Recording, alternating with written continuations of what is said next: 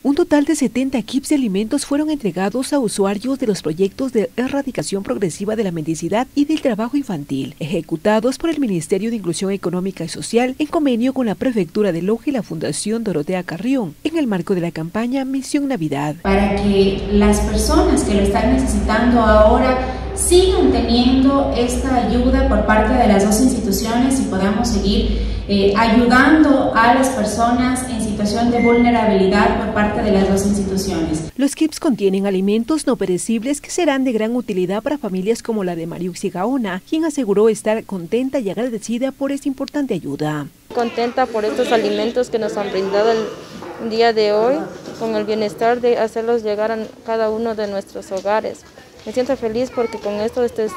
me ayudo con la alimentación de mis hijos. Durante la entrega, José Vicente Ordóñez, coordinador del MIES en la zona 7, destacó la colaboración, trabajo articulado y unidad para atender las necesidades de los grupos prioritarios, así como la predisposición de las instituciones involucradas para fortalecer el tejido social. En términos de cooperación,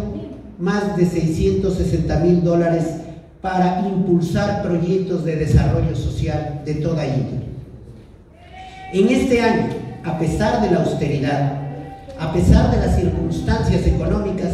en vez de haber una reducción o siquiera mantener las condiciones presupuestarias, hemos incrementado a 750 mil dólares aproximadamente la inversión que cooperamos como ministerio al gobierno provincial de Loja además de los víveres e insumos de bioseguridad proporcionados de manera periódica, tienen el acompañamiento permanente de los equipos del MIES sobre temas de sensibilización, apoyo psicológico y orientación.